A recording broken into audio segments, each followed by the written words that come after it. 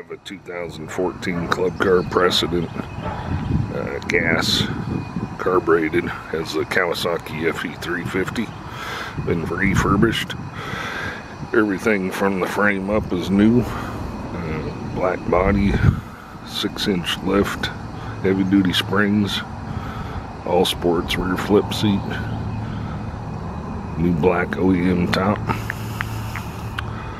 LED basic light kit horn mirror windshield and slow moving vehicle sign.